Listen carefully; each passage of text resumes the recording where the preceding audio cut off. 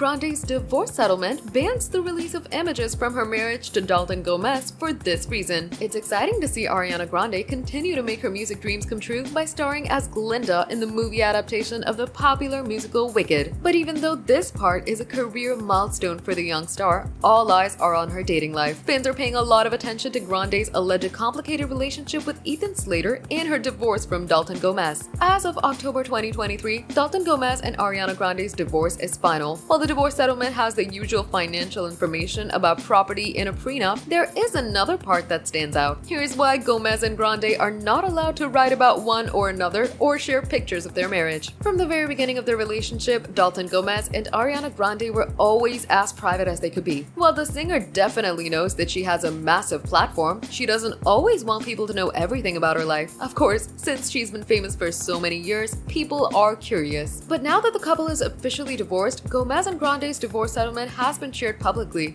It includes something that isn't typically part of divorce settlements, whether a couple is famous or not. According to the Daily Mail, The Blast received the settlement, which says that Gomez is not allowed to write about his marriage to the singer. He also can't post photos of her or them together. According to the divorce settlement, he isn't able to give any interview, write, appear in connection with, or assist or cooperate in the preparation or presentation of any book, article, interview, program, or other production or publication of any kind whatsoever concerning the other party. Gomez also can't share any photograph, tape, film, related negatives, or like embodiments in all forms, whether now or hereafter created, or any other record or recording of any aspect of any activity in or about any home, office, or other property owned. It's important to note that Grande can't speak about Gomez either. The explanation for why Ariana Grande and Dalton Gomez's divorce settlement includes this rule is that the singer has always seemed to want to stay as low key as she can, and now that she's single again, she doesn't want her ex husband to talk about her.